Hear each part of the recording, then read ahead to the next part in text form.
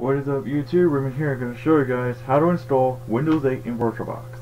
Windows 8 is pretty much the first version of Windows to use the newer flag and also use Secure Boot, so let's get this started. So first thing is VirtualBox, and the second thing you need is the ISO, so let's get this started.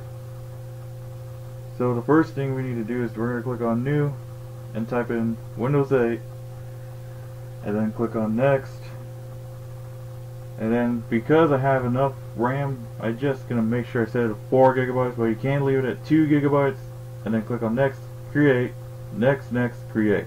And I'm also gonna have to set it to 64 gigabytes uh, for fun. And then what we're gonna do is I'm gonna click on settings. And then if you want you can go to system and then you can enable EFI but we're not gonna do that. And then click on storage. You're gonna look for the empty disk.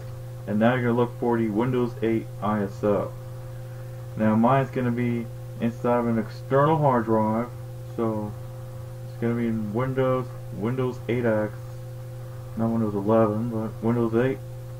And even though it's 32-bit, uh, it should work under 64-bit, but I only have the 32-bit uh, ISO, and what it is, I'm going to click on Start. And then it's going to boot into Windows 8 which might take some time but it should boot up. And then you should get to the first phase of setup. And then what we're going to do is we're going to click on next and then hit install now.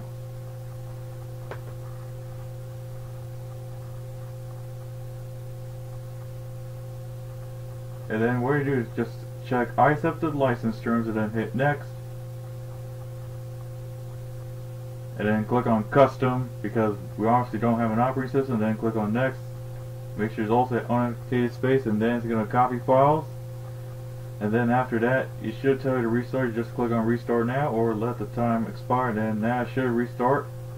Do not hit any key to boot from the CD otherwise you'll go to a constant loop. And then this should bring you the second phase of setup where it's going to set up devices check for hardware and then after that it should give you the next restart point. And this may take some time and then after that we should get the next restart point. And then once again do not hit any key to boot from the CD otherwise you'll go to a constant loop. And then now you should be in the final phase of setup.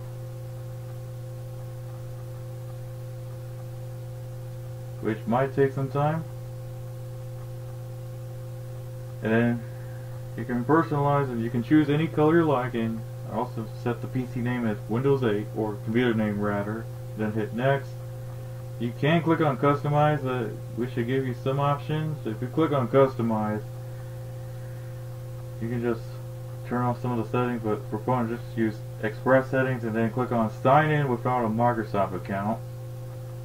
And then click on local account and then you can type in your name and then you can also type in your password. We're not going to put one in there and then click on finish. And now it's going to finalize your settings.